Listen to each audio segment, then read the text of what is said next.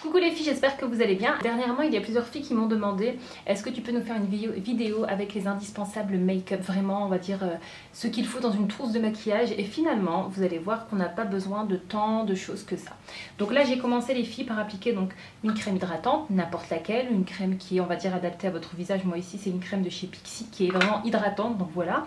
Euh, un contour des yeux, bon, euh, voilà, ça dépend votre âge, hein, on va dire, mais Ma crème contour euh, des yeux, en ce moment je teste celle de chez Biotherm, la Life Plankton qui se présente comme ça, franchement elle est, euh, elle est hyper hydratante. Pour l'instant ces étapes ne, font pas partie de ce qui est nécessaire dans une trousse de maquillage, c'est plutôt on va dire ce qui est nécessaire euh, au quotidien pour prendre soin de votre peau. Donc il faut vraiment bien les filles toujours hydrater sa peau avant d'appliquer quoi que ce soit. On va commencer par la première chose, donc ici le fond de teint.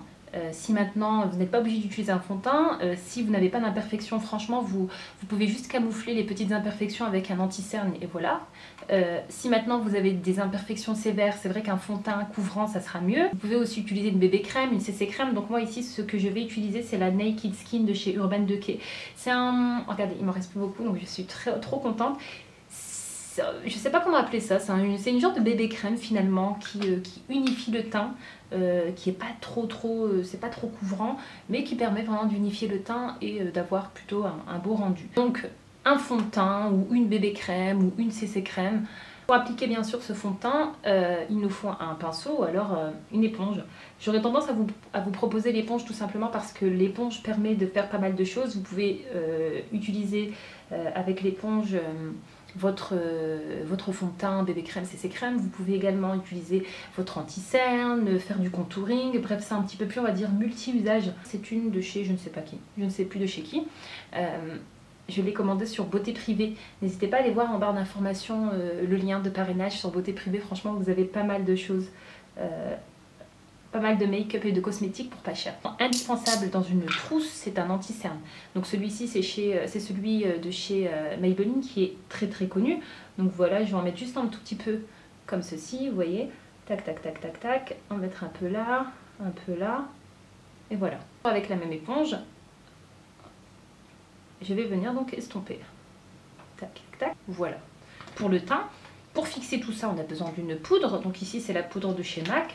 Maintenant, bien sûr, vous choisissez la poudre que vous voulez. Il en existe euh, énormément sur le marché.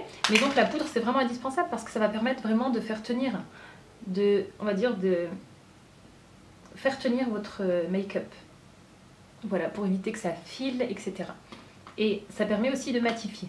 Voilà, vous allez constater, je n'ai pas introduit de d'highlighter, de contouring, etc. Non, on est vraiment sur une trousse basique de chez Basique. Donc un, blush, le blush c'est indispensable, en tout cas pour moi. Euh, ça permet vraiment, voilà, d'avoir une bonne mine. Et euh, j'ai pris une couleur pêche ici, un peu pêche. Voilà. Avec mon teint avec tout simplement trois produits avec euh, quatre produits plutôt donc mon euh, produit pour le teint, mon anti-cerne. J'ai donc utilisé la poudre ainsi que le blush. Produit pour les sourcils, euh, c'est vraiment un indispensable pour moi. Bien sûr, il existe différents types. Vous avez des crayons, euh, vous avez bah, des crayons, des gels. Vous allez voir la différence, je vais en faire un et je vais laisser l'autre. Ça permet vraiment de le regard. Donc, vous voyez la différence? C'est léger, mais il y a quand même une, différence entre les deux. Vous voyez? Alors ensuite, ce que vous pouvez faire, toujours avec les produits qu'on a utilisés au départ, donc votre anti-cerne, vous pouvez tout simplement venir en mettre ici en dessous pour que ça fasse vraiment un effet propre. Ça permet de camoufler les, euh, repousses, ça permet d'unifier de, la couleur de la paupière.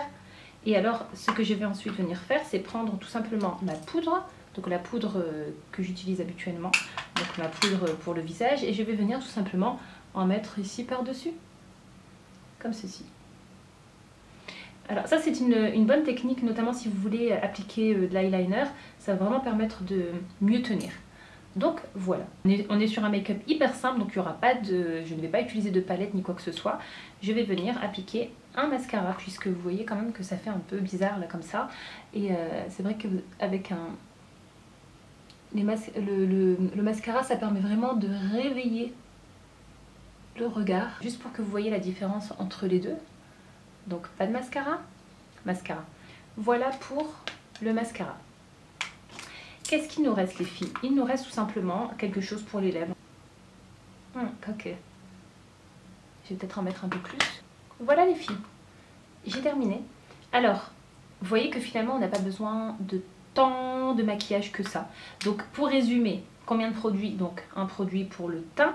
Donc ici, on a un anti-cerne, il existe même des, euh, euh, produits euh, deux en un, anti-cerne fond teint comme celui de chez Clinique que j'avais utilisé dans la postée avec Asma, la postée 3 minutes make-up challenge. Donc ça vous permet vraiment d'avoir, bah, écoutez, de, faire votre, de cacher vos cernes et en même temps d'unifier votre teint.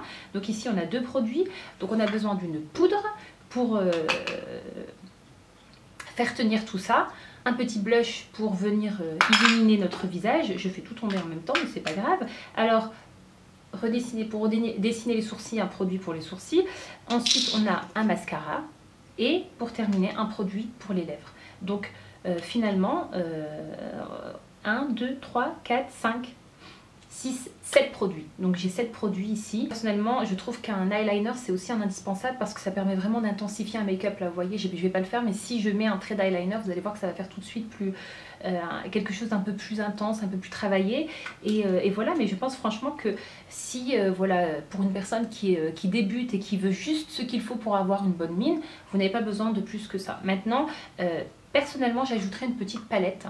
Une palette, bon, c'est pas celle-ci, hein, mais j'ajouterais une palette. Et alors, pour les rouges à lèvres, un rouge, je trouve que le, un rouge à lèvres rouge c'est toujours aussi euh, top parce que finalement, vous voyez, si je mets une couleur rouge, là ça, fera très beau tout simplement parce que le make-up est assez léger. Donc, euh, vous voyez, un trait d'eyeliner avec un, rouge à lèvres rouge pour une soirée par exemple, c'est juste, euh, c'est parfait. Pas, donc, voilà, une palette indispensable. Maintenant, laquelle, le problème, je ne pourrais même pas vous dire laquelle tellement il en existe sur le marché. dire que les, tons nude, ça, reste quand même une valeur sûre et un basique. Donc voilà les filles, écoutez, j'espère que cette vidéo vous aura plu. Donc n'hésitez pas à me laisser en commentaire quels sont vos indispensables, vraiment les choses dont vous ne pouvez pas vous passer. Donc n'hésitez pas à citer des marques hein, aussi si vous avez vraiment un fond de teint fétiche ou euh, vous voyez euh, euh, un produit vraiment top top top coup de cœur dans une marque. N'hésitez pas à laisser ça en commentaire. Sur ce, je vous fais de gros gros gros bisous. Prenez bien soin de vous et je vous dis à très bientôt pour une nouvelle vidéo. Bye bye.